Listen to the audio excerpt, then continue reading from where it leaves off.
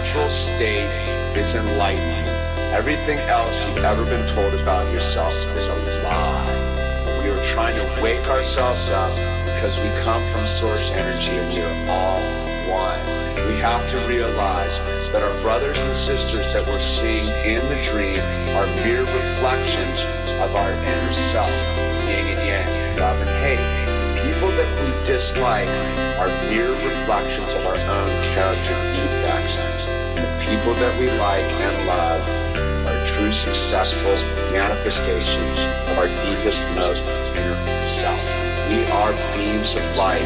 Our mission is to be creation, create positive energy on Spaceship Earth.